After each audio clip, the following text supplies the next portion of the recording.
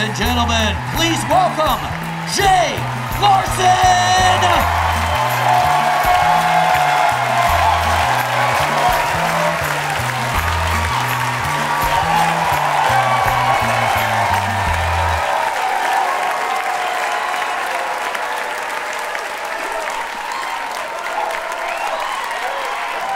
Thank you.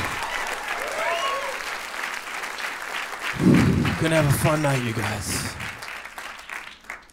I uh, married the wrong woman. You know. Who saw it coming? You know, how'd I know? You know what I mean? You get involved, you're like, well, we'll see what happens. No, not the one. Not the one. Been together 11 years, married for six, two amazing kids, and I can tell you from the bottom of my heart, she's the wrong chick. She's the wrong chick. My wife takes pills with no water. Pretty sure she's killed a couple people. Wh- who is taking pills with no water? I was having a nightmare one. I'm having a nightmare, right? And it's one of those nightmares where you're trying to communicate to the outside world that someone is trying to murder you, but you're asleep and you can't control your mouth or your body. So I was just like, like giving penguin hand and trying to tell my mouth to let her know, hey, someone's cutting my arm off with a butcher knife. So I'm going, "Ooh." finally, she kicks me in the thigh and goes, what? And I wake up and I go, I, I, I was, I was being murdered. I was, a guy was cutting my arm off with, with a butcher knife at a sub shop. And she goes, I'm trying to get some rest. And I rolled over and I grabbed a pillow from the floor and I put it between my legs and I was like, Who is this bitch? It's how I sleep. I think men are more sensitive than women. We have more feelings. We sleep like this. My wife sleeps like this. like she's ready for death at any moment. Like, yeah, just that's fine. I have zero feelings towards anyone in the world.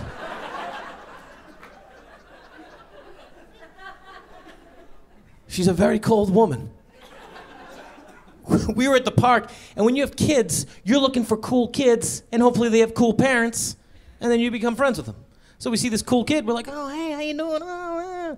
Start talking to the mom. And at the time, my wife's pregnant with our second kid, and the woman goes, oh, how far apart are the kids going to be? And my wife goes, uh, oh, uh, 18 months. And the woman goes, oh, my brother and I were 18 months apart. And my wife goes, oh, are you guys close? And she goes, oh, we were. My, he passed away. And my wife goes, Oh, my brother and I were 18 months apart. We talk once a week. what? The woman goes, Oh, all right, have a good day. I grab my wife, I go, What are you doing? She goes, What? I go, The woman just told you her brother died, and you come back with, Oh, my brother still roams the earth. She goes, Was that insensitive? I go, Yes. She goes, I'll go say something. I go, Get, get the fuck back. Would you shut up? She's a disaster at the playground. We saw a little kid running across this bridge on the playground, running across this bridge. And I see the mom. I go, how, old is this guy? And she goes, oh, he's 17 months. My son is like this on it. Like, I don't know if I can go across. He's 21 months at the time. I'm like, fucking get across the bridge. so I look at the woman. I'm like, wow, this guy's really doing great on the bridge, huh? And the woman goes, oh, this little bitch gives me a heart attack once a week. And I'm like, wow, she's pretty loose. You know what I mean? Calling her son a little bitch to people she just met. You know what I mean? I don't know where she grew up, but I would I don't know. I mean, I'd say to my friends, like, dude, this little fucker, because they're my friends, I'm just meeting you, you're calling your son a bitch. And my wife goes, oh, he's a girl? And I'm like, I'm like looking at her like, what's going on? And the woman goes, what? And all of a sudden it clicks. I'm like, maybe she didn't say little bitch. And I go, I'm sorry, did you say little bitch? I think we heard, did you hear little bitch? I think we heard little bitch. And the woman goes, no, I said this little bridge. This little bridge gives me a heart attack once a week. And I was like, okay, all right, yep, all right. So we heard bitch. That's just, this kid's playing. That swing is squeaky. That's a squeaky swing. Somebody should, you know what I mean? It's, oh man the things you hear out here. You know what I mean? Oh, we just that's what you know. That's what we heard. Not not what you said. Clearly. Oh, funny. And then my wife goes, because I saw his frilly shorts and I thought maybe he was a girl.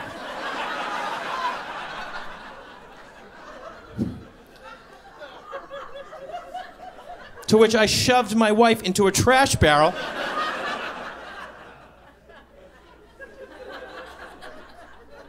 I remember my buddy who's not married, he's like been with this girl for a long time. He goes, How did you know she was the one? And I go, "Oh, What's the one? Goes, You know, like the one. And I go, There's no such thing. We were both like in our mid 30s and we're like, Hey, should we do this? You want to have kids? I'm like, I'd love to have kids. She's like, Nah, let's wrap it up. And that was it.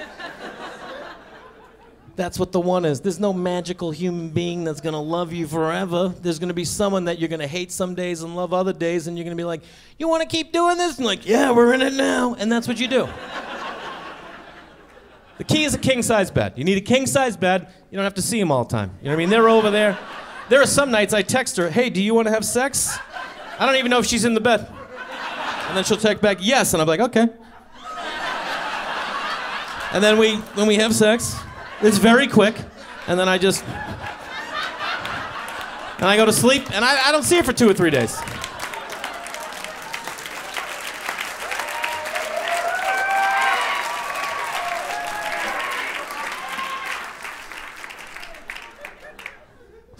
I do love her. you guys are just like, I, should we call a therapist? No, we're good. We'll be all right. We have two kids. We, we made a boy, beautiful, beautiful, sweet, cute little boy. Uh, then we had a girl. Um, I wanted two boys. I got a second girl, and I was like, nah, we'll keep her. You know what I mean? We'll keep her. My wife goes, Do you even love her? I was like, I'm just getting to know her. I don't know her that well. I don't trust her so much with those five little teeth walking around like George Jefferson all the time. I think she's up to something. Always in a good mood. I don't like people always in a good mood. You know what I mean? She's got a scam going. One night I was putting her to bed, and when I put her to bed, I do a little rock like this. I do a little little boat rock. I zip, and then I dip, so she's like feels like she's on a boat, you know. And I get her to sleep in my arms, and I lay her in the I lay her in the crib, and then she starts screaming. And babies, they don't know the difference in screaming. You know what I mean? Like if they're a little tired, they're gonna scream as if they just watched their entire family get murdered in front of them. It's like, come on, know your range, would you? So she starts screaming when I put her down. I pick her up and I'm like, all right, I'll sing her a little lullaby. So I do this little lullaby like, hey, my beanie boo, I L O V E Y O U, beanie boo. I can't wait to see what you do, do, do. She's asleep. I lay her down. She starts screaming again. I'm like, what the fuck? And I pick her up. Now I'm a little annoyed. So the lullaby isn't as sweet. It's something like this like, hey, beanie boo, I kinda love you. Your brother's the best, and you will do just something, something, something to soothe her. I lay her down, she starts screaming again. And now I pick her up, and now she's screaming in my arms, and I can't get her to stop screaming. And I'm at the end of my rope, and I just look down at her and I go, Shut the fuck up. I know I'm not a good person. I didn't know I was even capable of this. But I saw her, and I just gave her one of these. And I'll tell you, if there's one thing she didn't do, it was shut the fuck up.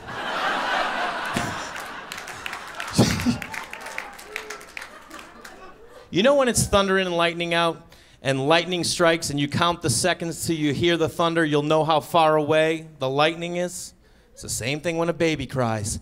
When they open their mouth, if you count the seconds to when they start screaming, you know how pissed they are. And my daughter went like this.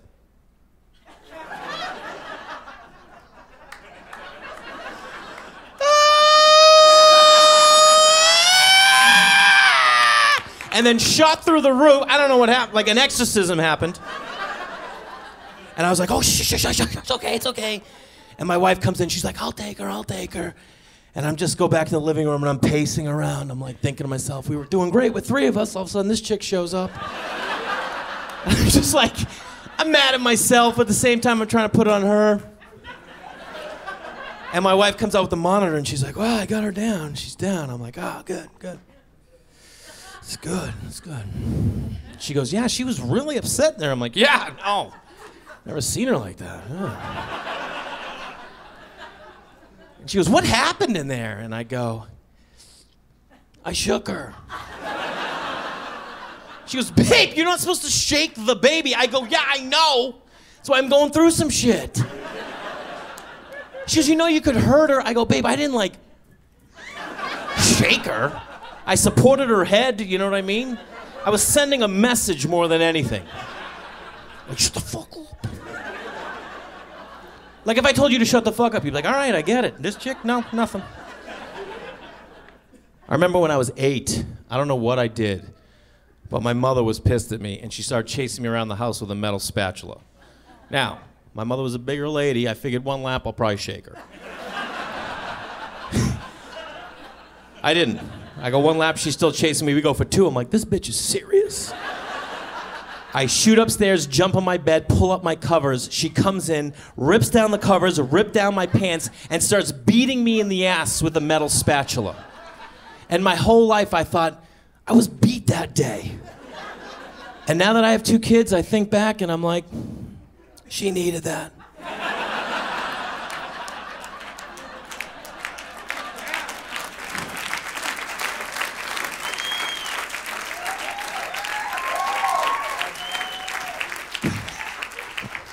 Beat your children! Finally, someone said it. I think it's like when generals say, listen, if we got to lose 100 guys to save 100,000, that's what we got to do. That's what happened that day. My mom beat me with the spatula. We probably went out to dinner, had a great night. Ground round, pay what you weigh. You know what I mean? It was probably a good night. I just think it's a different time now. Like in the 70s and 80s, if you were in the grocery store and your kid like was mouthing off, you could just spank him right there, and another dad would be like, "You need a belt? Do you need a belt? I... You want me to hold him? I'll hold him. No, all right." They'd block off an aisle, like, "Nah, this guy, no, he's taking. He's... Just give him a second. Good form, bro. Nice form. That's what it was. When our baby was teething, my in laws, they would say, you know, when Katie was a kid, we'd just rub a little Irish mist on her gums. That's whiskey. And I was like, what? Are you crazy? And they're like, well, that's just what we did. And I was like, you're nuts.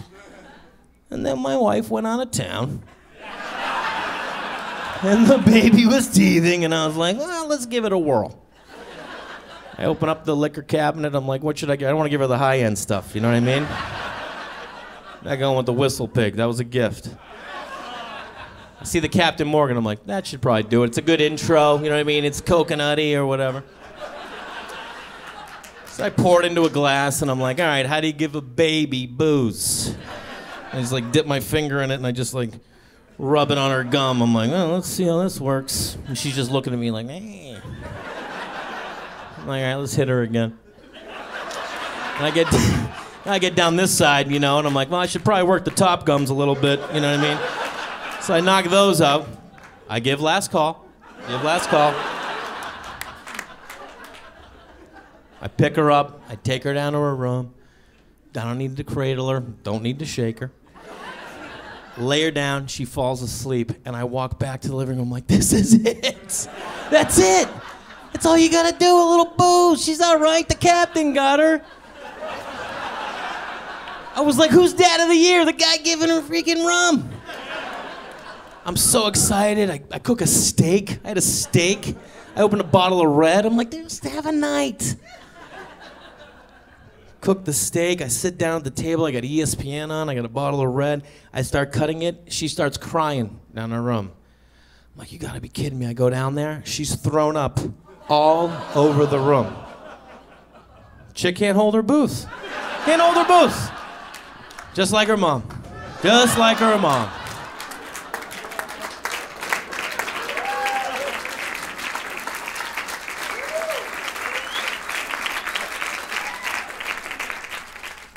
My favorite thing about that joke is tonight's the first time my wife's ever heard it. and found out that I gave our baby booze. So that's a win win. Do you know how old you were the first time you had booze? Ten? Yeah, probably six months. It's probably six months. You just don't know what you're capable of until you have a child. You know what I mean? Like, I didn't know I would ever be able to, like, yell at a baby and maybe give a little shake. One day in the middle of summertime, it was like 110. The baby hadn't slept in three months because she had a sinus infection. We were like delirious, and my son's complaining because he doesn't like what his food is, and I've already cooked him three meals, and he's sitting in his high chair going, I want my fire truck! I want my fire truck! And I'm like at my wits' end, the baby's crying, and I just come in and I go, No one gives a fuck about your fire truck! and I left it. I felt pretty shitty. I felt pretty shitty. I walked by my wife and she was like, like someone had to say it. And then I thought to myself, I bet no one else in the world has said that today. I doubt there's some guy like stuck in traffic because the guy's washing the fire truck. Like, hey, no one gives a fuck about your fire. Maybe some dad in Japan, wash on fire truck, you know. That's pretty racist. I, I apologize. I didn't. I told myself I'd learn it in Japanese. I just didn't do it. I said I would. I really thought I would do it. I really thought it. People think marriage, I don't know what they think it is. I don't know what they think it is. The other day, I go to the bathroom. I come out in the hallway, my wife's standing there. She goes, You wash your hands? I go, What? She goes, Did you wash your hands? I go, I peed. And she goes, So you don't wash your hands when you pee? I go, I don't know. What is going on here? She goes, What about when you poop? And I go, Yeah, I wash my hands when I poop. And she goes, Well, the other day I heard you pooping, and I didn't hear you wash your hands. and I was like, Are we, what the fuck is going on? This is a court show? I don't know. Are you suing me? I don't know what's going on. She goes, Do you wash your hands when you poop? And I go, Yeah, I do. And she goes, I don't think you do. I think you're lying. I go, You know what? Sometimes I don't. Sometimes I don't. And she goes, That's disgusting. I go, You know what's even worse? Sometimes I don't even wipe. Just to leave her in the dark. Does he wipe? I don't know if he wipes. I don't know if Jay wipes. Deal with it.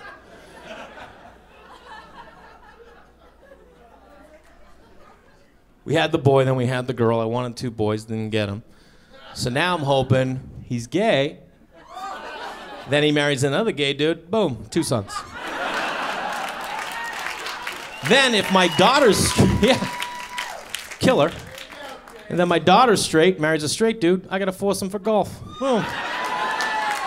For life. If my son is gay, me and the two gay sons, we're gonna pick on that straight son all the time. Like, dude, really? This is what you're wearing? Look at this. What? Look at this breeder over here. Come on, are you kidding me? Fem it up, bro. Fem it up. Take your own golf cart. Get out of here. All straight. Get out of here. I think giving the birds and the bees talk to a gay son is going to be a lot easier than to a straight son. You know what I mean? Because a straight son, you have to be like, listen, you got to wear a condom. You don't, you don't want to be having a kid. Wear a condom. And listen, you, you should really find out. There's like, is she stimulated clitorally or is it vaginal? I don't know, but you should figure it out. I was a horrible lover in high school. It was like, eh, was that good? That's what it was. I had no idea what was happening. You got to like give them education. I don't want to have that talk. It's disgusting. But with a gay son, I, all day, I'd be like, listen, what's going on? You and Erica going out tonight? That's great. I love that kid. Great kid. Great kid. He got his license. Oh, got that Camaro, huh? I love that Camaro. Listen, tonight, when you guys are going out, tell him to take PCH. You're going up by the coast, the sun's setting, mention the sunset, put on a nice song, and then while he's driving, you reach over and you just tug him right this. You fucking know him. Not even underneath. You go on the outside of the pants, and when he looks at you, you be like, keep your eye on the road, and just boom. That's how you keep a man, all right? All right, have a good time. We'll see you tomorrow. We're good. Baseball practice in the morning. All right, buddy. Gay dudes have it figured out. You know what I mean? They get it. When was the last time you had sex in an alley?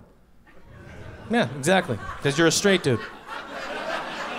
Gay guys like, hey man, you want to fuck behind this dumpster? Like, yeah, all right, boom, all right. See ya. Nice to meet you. You imagine Sunday football being gay? It would be unbelievable. Catch the first half, quick HJ, grab a shower, I'll whip up some guac, we're right back at it for the second half. That's just what it is. Guys are like, my wife and I watch football. Shut up.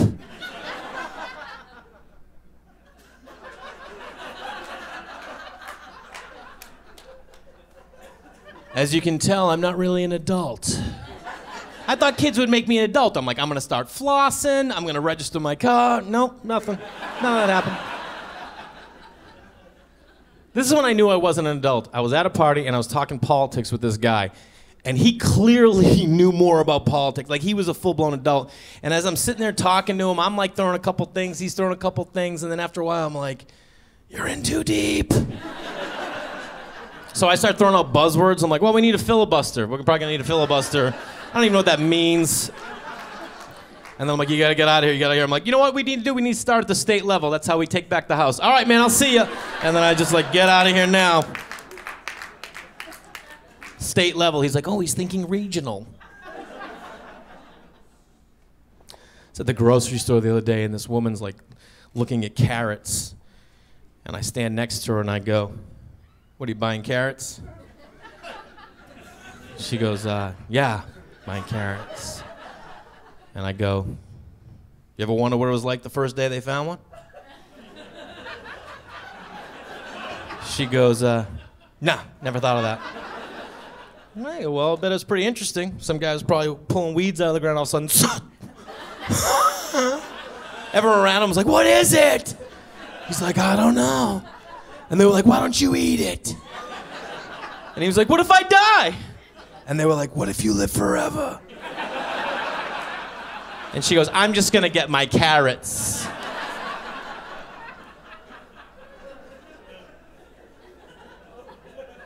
I like to talk to people. There was another woman behind me in line. She had a watermelon. I look back and I go, Hey, that watermelon's too big.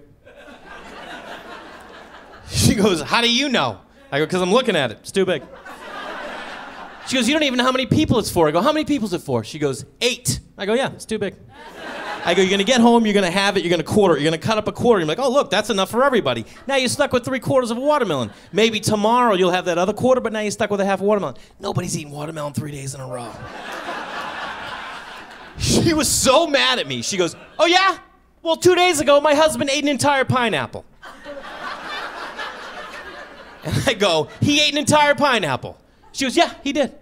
And I go, You gotta go get another watermelon. You out of your mind? This guy's sucking back pineapples. You gonna roll in with this? Get out of here. Nobody gets it. How many people, when you're grocery shopping, return the carriage, the shopping cart when you're done? How many people return it to the little corral? Good people. Good people. How many people tuck it behind a bush? They're like, this is someone's job to come get it. I love that you're like, it's goddamn right I do. Keeping this economy strong. I've been on the fence. I've done both. For a while, I returned. And then I got into like we were going to this one Vons and the shopping. Usually the corrals were pretty close, and I would like to do this one where you push it and you try and glide it in. like you got to be careful when you're shopping. You need to like bend it a little, like know which way it rolls. Does it roll right? Does it roll left? Just so you can be that guy. You ever push it and you let it go and you're like, oh shit, that's gonna get a car, and you have to like chase it. It's the worst. Someone sees you like, ah, look at this idiot. I was trying to be cool. I don't do either of those things anymore. Now I wait till I see somebody who's getting out of their car and I go, hey, you using a shopping cart? And they're like, yeah, why? And I go, you ever seen a grown man try and receive a shopping cart at 25 miles an hour? They have no idea, they're like, what the fuck is this? But when they grab it, it's like they just like lassoed a baby calf. You know what I mean? Like they're at the rodeo go inside, maybe they pick up their wife. Because I've filled them with confidence. It's a transference of energy.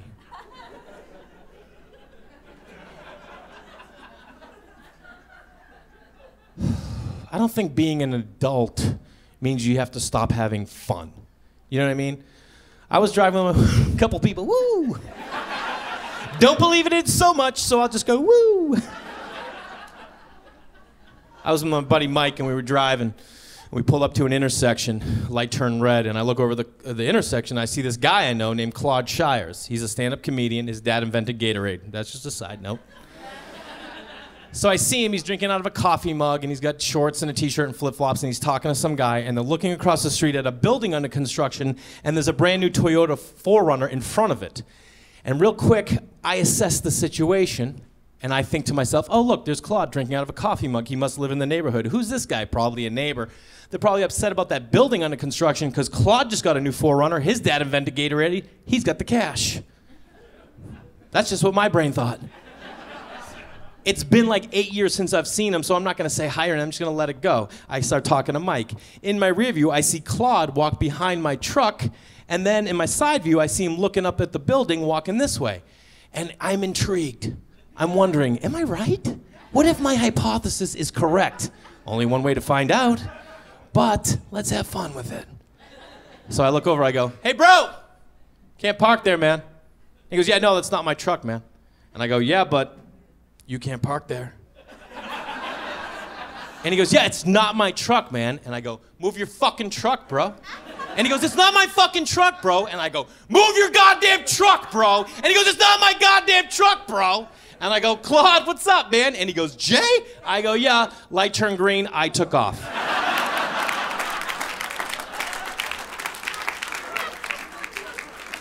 Haven't seen him since.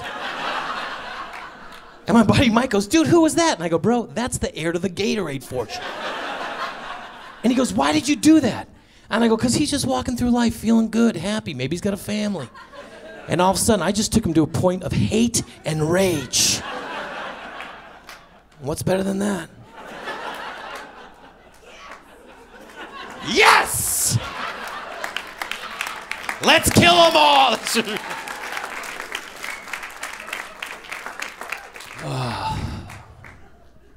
I always thought I'd marry a woman so she could get her green card. Just because I always wanted to own somebody a little, you know? It's kind of what it is. I also wanted to marry a woman who already had kids so I could like come in and save the day. I'm like, yeah, I know your dad sucked, but I got you. Never had a dad myself, so I get it. Oh. Why is that? Why do we want to save? I'm the only one who wants to. Like, I don't know. This got weird. Lock the doors!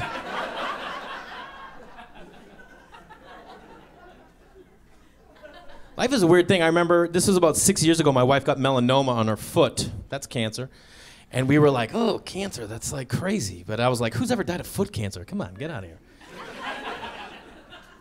And we were like in our 30s, and I was like, you know what? We're gonna beat this. There's no question. Like it was no question in my mind that we would beat it. I didn't even like register. 99% of my brain was like, we're gonna beat it. 1% was like, fuck. What if we don't? Like that's amazing. Like this is the woman I decided like, hey, we're gonna figure it out together. We're gonna go through life. We're gonna do it together, no matter what. And then all of a sudden she might be gone. It was crazy. Like 99% of that 1% was like, I would be devastated. But the 1%, of the 1% was like, what? We're back in the game! You didn't do it, the cancer got but I, like, I don't want to go there. I can't control my brain, so I'd be like, 1% of 1%, you shut the fuck up. And they'd be like, what's her 401k? What's her 4? I'm like, I know, it's pretty good. It's pretty. Remember that one bedroom you saw for rent in Laurel Canyon? That could be you. You're a widow. Who doesn't love a widow? Talking to other women, they're like, oh, you're a widow. I'm like, yeah. Like, if you don't mind me asking, how'd she die? I'm like, foot cancer got her. foot cancer? I've never even, I didn't know people could get foot cancer. I'm like, yeah, she was pretty weak. Emotionally, I mean, just, you know. Oh, God, I'm such a good person. When you're committed to marriage, that's all you got is death. You know what I mean? That's your only get out of jail card. I can't wait for her to die. I mean, I'll probably be 92, but I'll be crushing it. Hopefully, my two gay sons have adopted. You know what I mean? Hopefully, a couple black kids. Black grandkids, you kidding? Killing it.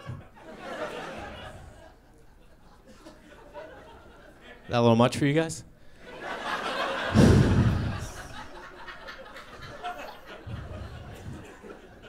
Think everyone's a little afraid. We're all protective of everything nowadays. Like even our kids. I bought my son a swing set off Craigslist for 85 bucks. Pretty safe. And then I built it with no directions over concrete.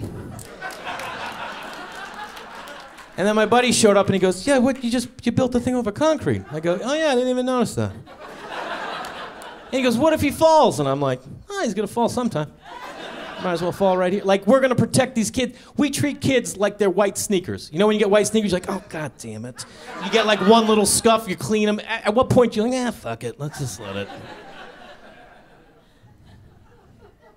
He ended up falling off that swing, bashed his face open blood pouring everywhere. And let me tell you, the most gorgeous blood I've ever seen.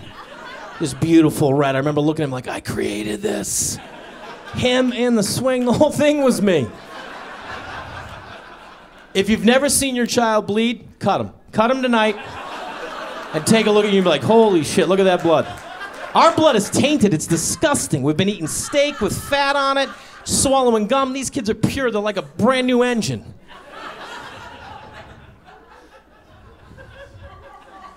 Where was that kid beater earlier? right. Cut them all! Cut every single one. I don't really think you should hit your kids. Maybe flick their nose once in a while, you know what I mean?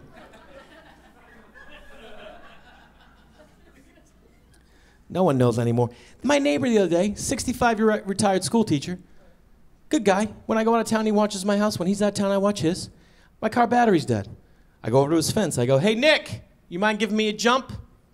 And he just looks at me and goes, huh? Starts walking across the lawn. As he's walking across, his wife's right here, and she's like this. I'm like, what's wrong? What is going on with her? He gets over the fence. He goes, what'd you say? I go, I was wondering if you could give me a jump. And he goes, uh, I don't jump. I was like, what? I go, I have the cables. He goes, nah, I just, I don't jump. Now his wife is like, like she's seen this before. She's going through PTSD over here. She's like, this friendship's over. And I go, what? I have the cables. And he goes, yeah, no, it's not good for your battery. I mean, you can say no to someone via text nowadays because it's completely impersonal and you're completely disconnected from the rest of the world. And you're like, no, and not even care.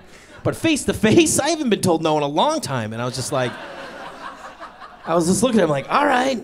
And I was like clearly upset. And I'm walking away. And he goes, you know, you should change your battery every three years. And I look back like, you shut your fucking mouth. I mean, I didn't say it. I didn't say it, but I thought it.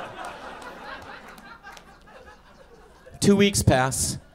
Every time I see him, it's awkward. He like jumps out of the way. He goes in the house. I avoid him. It's weird.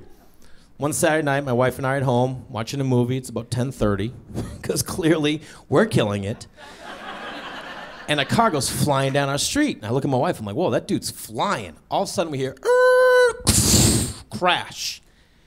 I run out because I've always wanted to save a life and start sprinting down the street. Past Nick's house, nothing. Steph's house, nothing. Go by my neighbor Brad's. He comes running out with a billy club and a bandana on.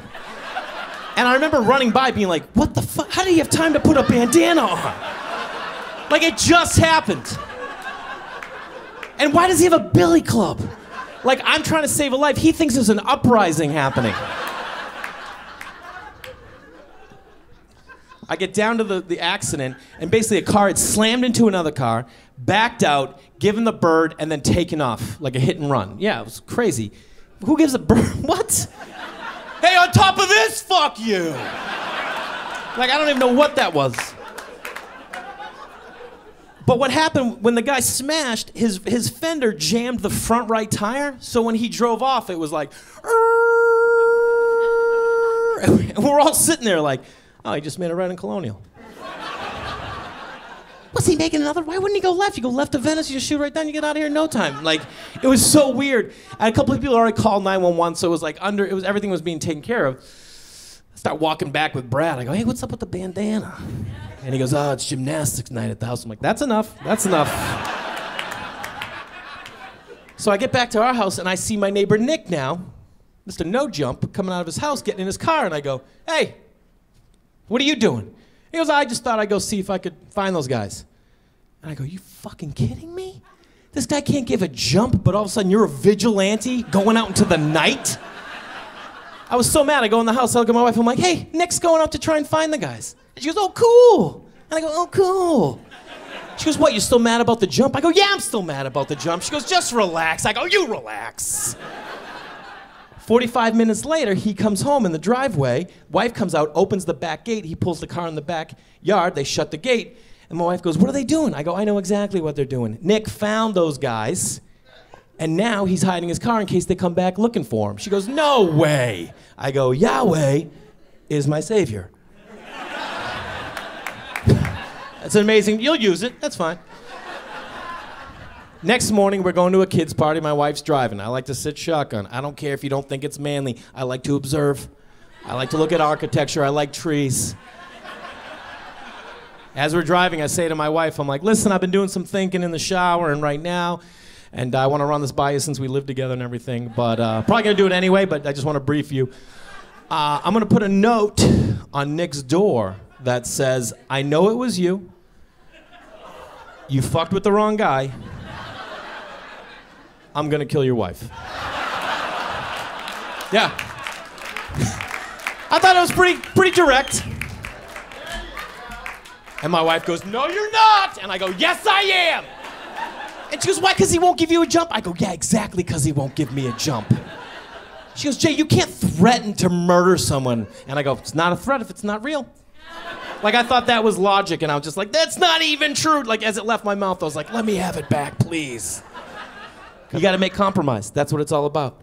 And I realized, okay, I won't threaten to murder this guy's wife. But then, four days later, I got a little sign from up above. I'm raking in the backyard, and under a bush, I find a dead bird. I get a manila envelope. Put the bird in it. then, in red Sharpie, I wrote on it, For whom the bell tolls, it tolls for thee.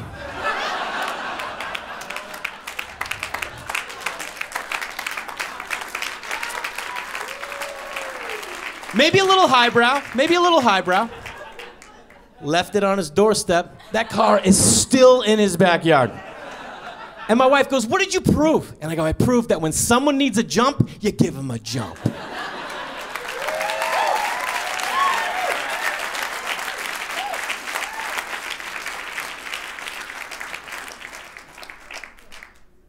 we do things differently. The other day, she goes, I told Reed he had to go in timeout. He went over, put himself in timeout, and then after a minute got up and walked out. I go, and what the fuck did that prove? She goes, what do you mean? I go, you can't just let him put himself in timeout. She goes, well, what do you do? I go, I grab him by the face, and I walk him over, and I say, sit right here, stare at the wall. We don't smile, we don't laugh, and when I think you're done, I'll come back and get you. And then she goes, and what does he do? I go, he cries the whole time. She goes, Yeah, but now he's crying. I go, Exactly. Hating time out. I go, Nobody drives by a jail and, like, I should be in there. I said, Listen, I'm not raising a best friend, I'm raising a citizen. Someone who's gonna use a directional. Five people. That's right, we need more directional users. And then these people are like, I haven't clapped all night, I'm not clapping now. Son of a bitch. Guys ever stayed in Airbnb? Once? Big Airbnb fans. Here's the rule with Airbnb you book it, you get to pick the room. That's the rule. I went to London with a couple buddies. They didn't like the place. They're like, I don't like what you picked out. I'm like, fine, I'll take the crappy room, which happened to be a kid's room. Had bunk beds. I slept in the bottom bunk. First night was uncomfortable. Second night, I was like, oh, this isn't bad. Third night, I just felt like a guy whose kid died, and I just couldn't let go. like I'm just playing with toys, like, mm. Like I didn't miss my kids till then. I'm like, I miss my children.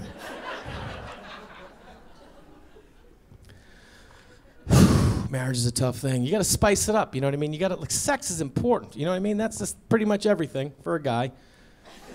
just sex. I was like, how are we gonna spice it up? I don't think a threesome's gonna work. Like, you can't have a threesome at this point. Kids wake up in the morning like, who's he? Like, oh. Why did he pick a man?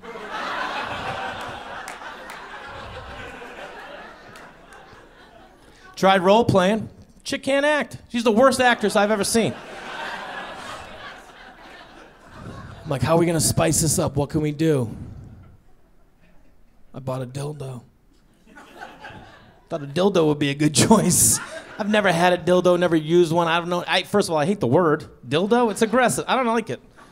Dildy, would that be better? Dildy? No. I'm like, I'm gonna get one and we'll use it together. We'll, we'll bond over it. It'll be our, I don't know what. So my wife's out of town for work. I go to a sex shop. You know, I walk in. This guy's buying porn. And I'm like, oh god. Guy working behind the counter looks like he should be working the ring toss at a state fair. You know what I mean? The whole thing's uncomfortable. I just don't like it. It's not me. I'm like, ah, God. I'm just like, ah. And I look at the guy and I'm like, hey, how you doing, man? I'm uh, looking to buy like, like a sex toy or something. Me and my wife, maybe like a dildo or something. And the guy goes, yeah, I like that. I'm just like, come on, man. I don't want you to like it. I'm looking around and I see the case. I'm like, oh, these, well, these the dildos. You know how humiliating these the dildos? Is this the dildo right here? How do you use it? So I see this purple one. I'm like, hey, what about this purple one? The guy goes, oh, yeah, that's the Excalibur. It didn't say Excalibur anywhere on the package. That's just a term they're using around the shop, you know? I'm like, all right, let's take a look. Guy pulls it out. It's so big that when he puts it on the counter, it goes like a thud. And he pulls it out. It's this giant dildo with a little arm that comes off the side that it looked like a cactus, you know what I mean? Like in the cartoons that vibrates like and I'm looking at it, he's showing it me. I'm like, oh, put it away, get the fuck out. Like guys are like, uh. I'm just like looking at the thing. I'm like so uncomfortable, and I go, "It's that thing on the bottom of the. It's that thing on the bottom." And he goes, "Oh yeah, that's a suction cup." I go, "The fuck is that for?" This guy looked into my soul like that, licked it, and then went up to the wall and went and stuck it to the wall. And like David Copperfield was like.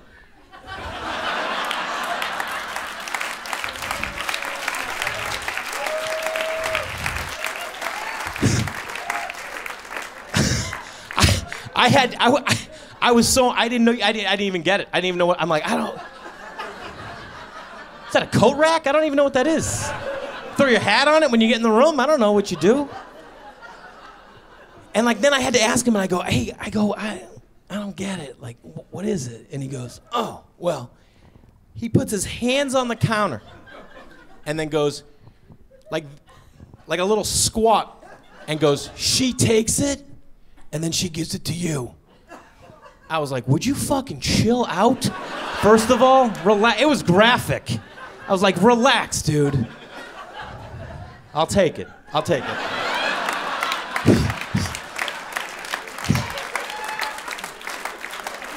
Pretty sure that's exactly what I'm looking. I don't need the floor model. I'm not gonna need the floor model. Maybe you could get one prepackaged would be nice. Don't think I'm gonna need this. So my wife's out of town. It's a Monday. And I think to myself, it's got this cheesy wrapping. You know what I mean? I'm like, let me lose the wrapping. I'm gonna get a nice box, get some wrapping paper, maybe a bow. I've never given anyone a dildo before. I don't know how you do it. Has anyone given a dildo? I don't know what you do. I always thought it'd be like this. That's I always thought you'd give one. So I'm like, I'll get some nice wrapping paper, a bow. Week gets away from me. I forget to buy a bow, box, wrapping paper.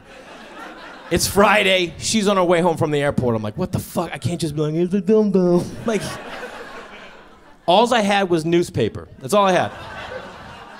So I wrapped the thing up in newspaper. It looked like a fish you take home. Like the guy's like, hey! All right. Thank you.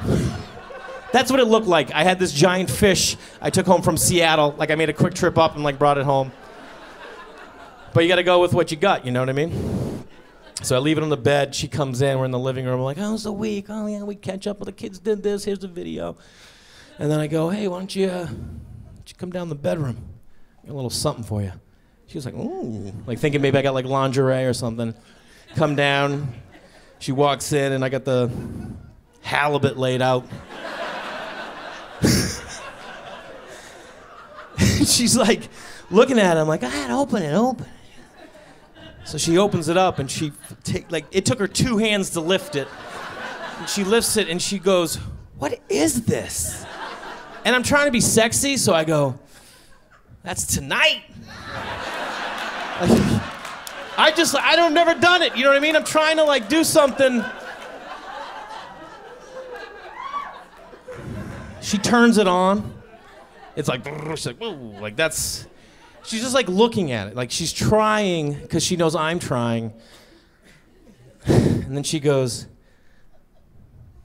"This thing on the bottom."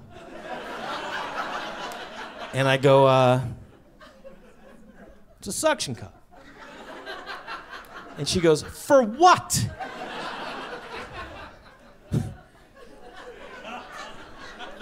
I don't know why I did this. I took it from her, and just like that guy, I licked it, and then I stuck it to the wall. Immediately, it fell off the wall, turned on, and started flapping around like a dying fish. It went under the bed. I was like crawling. I'm like, I got it. I got this and like I couldn't get to it. It's like getting away. I finally got it. I'm like, oh, I got it. And it had like dust all over it. Because no one's cleaning under that bed. And I'm just like.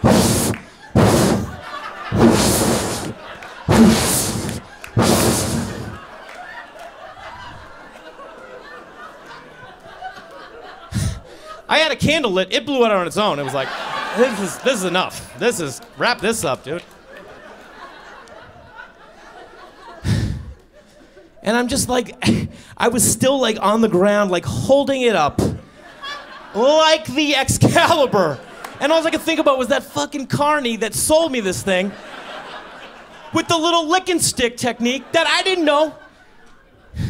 You know, like at the carnivals, when the guy's like, oh yeah, it's super easy, look at this, boom, boom, and they just keep draining it, and you're like, wow, that's amazing.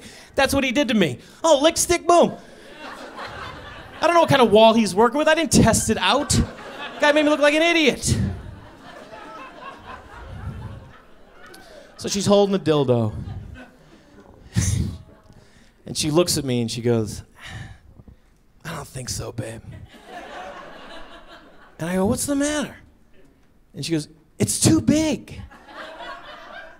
And I remember like feeling deflated. Like I put myself out there and I looked at her and I go, You don't like big dicks? And she goes, No, I like average dicks, like your dick. I wasn't even mad. I was like, really? You think it's average? All right. All right.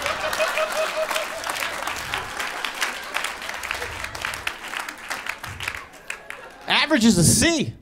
I'll take a C all day. I was mad that she didn't like big dicks. I'm like, you just walking around your whole life into dicks and you didn't think big ones would be a good option?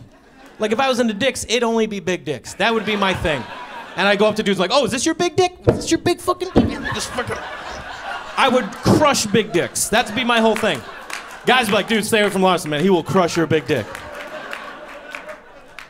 Remember the first time you saw a big dick?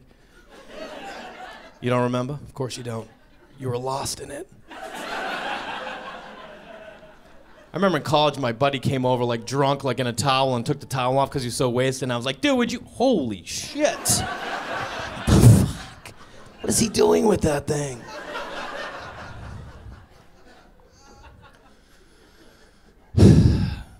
We didn't use the dildo. We had sex with my average dick. And made a beautiful, amazing, cutest little boy in the world. And an average little girl.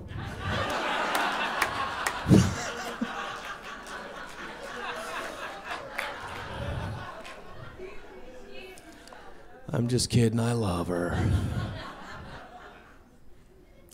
Life's weird. You just don't know what it's going to give you. You know what I mean? You kind of just got to play. You play your cards and you get dealt, and then you just work it out. You know what I mean? You're never always going to have a good hand. You're not always going to be up. You're not always going to be down. You know, you just don't know. About a year and a half ago, I was in New York, and uh, I got a phone call from my brother. My brother never calls me. He's called me three times in 10 years. That's just, he texts. He's a text guy. So I know something's up. So I pick up the phone. I go, Who died? And he goes, Dad. And I was like, Someone's got a flair for the dramatic. Now, my dad left when I was really young, and we all stopped communicating with him around the age of when I was 12. But then when I got older, moved to LA, I started like emailing with them. So I was the only one with a relationship, so my brother called me. So I call my wife because things aren't real until I talk to my wife. You know, it's like that saying, you know, that saying, I don't know what I think till I hear what I say. That's what it is. Until I tell her, and I, I say, get, I get her on the phone, I'm like, so listen, I think I'm gonna go home, you know, because my dad died. And she goes, and she's, she's not a sensitive woman, she goes, to who? and she's not doing it intentionally. That's just how she reacts. And I'm like, yeah, that's a good point. Very good point. Um, I go, but I think I'll just go home and, you know, I'm, I'm going to call my aunt, and, who I haven't talked to in 25 years, and see if she can call my dad's wife and see if I can just, you know, go through his stuff. Because I thought that was a normal thing to do. Like, oh, just you mind if I just peek around a little bit? Never met you before. How are you? All right, good. And she's like, "What are you looking for?" And I'm like, "I just want to get the end of the story. I just want to. I want to finish the book, you know." And she's like, "All right." Secretly, I was hoping I'd find like a scrapbook of my whole life that he's been watching me forever. So I take the train home, and the whole time home, I'm just thinking about like things I have from my dad. I only have like three things. One was a silver penny, because history note during World War II they used the copper for bullets and made pennies out of silver. He's like, I know that. So I had this one silver penny, and you remember Dylan McKay from 90210? Yeah. You thought that guy was intense? I gave that penny to my high school girlfriend when she was a freshman. I was like, take this. It's the only thing my dad ever gave me. She was like, I'm just a freshman. I don't know what to do. Like, I was an intense kid. And I was going home for my, the, my dad passed, and it was like close to Father's Day. And Father's Day was always weird for me as a kid. Like, I remember in third grade, we had to write like Father's Day cards. And I was just standing like at my chair, staring at this blank paper, and everyone's like, I love you, Dad. I'm glad we play catch. And I'm just like, I don't know what to write. I don't see him. And Mrs. Nelson was like, Jason, can you see me in the hall, please? And I go out there, and she's like, I'm so sorry. And like buried my head in her tits, and I was like, this is amazing. I hope my mom leaves. It was like the first time I ever got, I'm like, what are these things? Later in life, Father's Day became a day that I would like do things by myself. I'd build something, I'd go for a hike. One year I was building something, I went to Home Depot, and as I'm leaving, this black woman goes, Have a happy Father's Day. I go, Oh, no, I don't have any kids. And she goes, Yeah, I know, but you and your dad. I go, Oh, no, my dad left when I was two. And she goes, And you'll be a better man for it. I was like, How do you say that to someone? Only a black woman gets away with that. Literally, she hugged my soul. 27 years of therapy wrapped up in one interaction at the Home Depot. Amazing.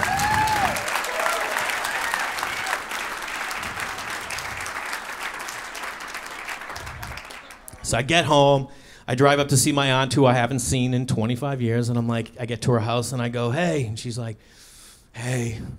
And I was like, hey. And she goes, do you want a drink? And I go, nah, I'm good. And she goes, we're drinking Jack on the Rocks. And I go, yeah, I'll have four of those. and she's like, so listen, I called your dad's wife, and she knows you're coming, and she said you can go up. My dad like had a workshop. He was an antique dealer, but he made sculptures. She's like, you can go through his like his workshop and all that kind of stuff. And I was like, all right, cool. And I talked to her, and then I went up and saw my. I get to my dad's house, and his wife comes to the door, and she's like, hi, how are you? And I'm like, good. And she's like, so um, you know, you want to go out and see his stuff. It's weird. Could I never even like thought what they were thinking that like some kid shows up like, hey, how you doing? Never met. Mind if I go through my dad's old shit? Thanks, appreciate it. Where's his sock drawer? You have a sock drawer anywhere nearby? That's where the good shit is. And like my dad was like a little bit of a weird dude. He had all these weird sculptures everywhere, you know, like he had made all these things out of stone and I'm looking around and I'm standing like in his work room in front of his workbench and I'm just sitting there like, oh, he stood here. Like he would make things here. His brain would create here. You know, I'm a creator. That's what he would do. And this is where he'd be. We don't even have a relationship, but now I'm standing in his space. He's gone, but I'm there. I'm looking around, and there's all these like weird sculptures. I'm the youngest of four, and I started seeing like four baby doll heads on top of each other. I'm like, hmm, four baby doll heads. I wonder if that's us.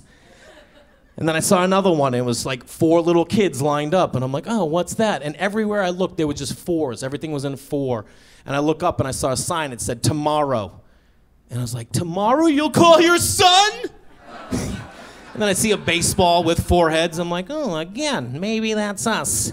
And I'm looking at it, and I thought back to when I was nine, I had to get a jock strap, and there was no dad around, so I went with my mom. And my mom was sitting there with like this guy that worked there, and she looks at me, she goes, What size are you?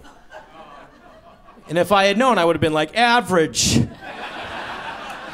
But I didn't, so we bought a large, which was way too big. We got home, and my mother goes, Why don't you try it on? And like, I didn't know anything, so I went upstairs and I came down in just a jock strap. And it's my mom, my nana, or my sister, like in the kitchen. I'm like, Is this right? Like a dad would take you out back and hit you a couple ground. Is like, Is it pinching? Does it pinch? All right. No, my mother walked over to it and knocked on it to make sure it worked. She goes, Oh, that'll be fine. I'm like, I'll never wear that again. Thanks. So I'm sitting there in the kitchen looking at that sculpture, thinking of that, being like, dude, you could have just come to a game, you psychopath. You didn't need to make some damn sculpture. Then I couldn't take it anymore. I look at the woman, I'm like, I, I gotta, I, I can't take this. And I walked into the living room. I start looking around, and there's a bunch of penises. Penis sculptures everywhere. I'm like, oh, he was into big dicks too. And my dad's wife comes out and she's like, you know, it's nice that you came and I'm glad you could find some stuff. And I go, you don't think he was tormented? And she's like, no, I don't think so. I go, I, there's a penis with a fish hook through it. You don't think that's anything? She's like, oh, I never even thought of that. I'm like, oh, really? Every day I would be like, what the fuck is that? That would have been the only thing I was thinking. And she's like, no, I just never really, you know. And like I was so close to asking, like, did he did he talk about me? Did he have anything? Like, just waiting for her to be like, well, he did have this scrapbook of all your stuff and all your accomplishments. But all she said was, she goes, you know, he had his own apartment because he didn't like living here because of my son. And I go, oh, really? And she's like, yeah, do you want to go look at it? I'm like, yeah, of course. So I go to his apartment, which is in an old schoolhouse, and he lives downstairs, and some other guy lived upstairs. And I go to open the door, and I do, and the only sound is a fish tank in the corner of the room that's one quarter full, and it's just like the filter's going. And I was like, how long ago did he die? Like, keep the fish tank going. It was two days, but it looked like it had been four months with the condition of the fish tank. There was just like books over here on silver coins and like all antique books, and the place looked decrepit, like like he was living in squalor, you know. Then I went into the living room and I was like just looking, like maybe there's some, maybe there's a picture of me somewhere. Is there anything here for me? Nothing. I go into this other room where he packed up and shipped his antiques, and then I went into his bedroom and there were like the EMT rippings from where like he had died. And I went and stood where he died. I'm like, maybe I'll have a release and let go here. So I just stood there. I'm like, well, this is where he died. Didn't feel a thing. Look over in the bureau, see four little statues of kids. I'm like, Jesus Christ, guy. Unbelievable. You, did you die looking like looking at those? And I, I just kept looking for that release, like something to show me that he cared about me or us. And there was nothing there, you know? It was, there's just nothing. So I went back to my aunt, gave her the key, flew back to LA, and two months later, my wife and I and our son, my wife is pregnant with our daughter, we were coming back to that same area for vacation. And I said to her, I'm like, hey, when we get here, I want to take you to the antique store where my dad worked and meet the people that he worked with. And she's like, okay. So we get there, and my son finds some toys and starts playing with the toys. And I'm like, all right, I'll buy him this toy. And I go up to the front and I go, hey, the owner's here? Like, I go to pay for it, and she's like, no, they're not. And I was like, oh, okay. I'm like, just this. And I look over, and there's a memorial of my dad, two pictures of my dad. And I grab one, and I start walking over my son. And I don't know what's going through her head. She's like, what's this guy? Who takes a memorial? You're not supposed to touch memorials. so I take it, and my son's down playing with the toys, and I just show him the picture. And immediately he starts laughing hysterically. Like, my job is to make people laugh. And the one time he's ever seen my dad, he starts laughing, and I start bawling my eyes out. And I pick him up, and my wife starts hugging me, and she's bawling her eyes out. And I'm thinking to myself, for the first time in my life, I didn't feel like the kid who didn't have a dad. I was the dad to this boy and that girl. And I felt so amazing, and I felt so loved. And I looked over her shoulder at the woman working there, and she's just staring at us like, who the fuck are these people?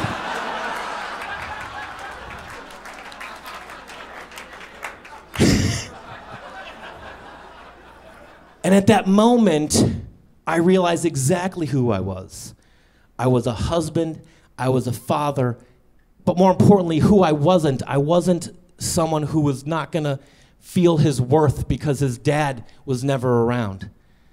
And I hope that every day you wake up, you look in the mirror and you ask yourself, Who am I? I'm Jay Larson. Thank you so much.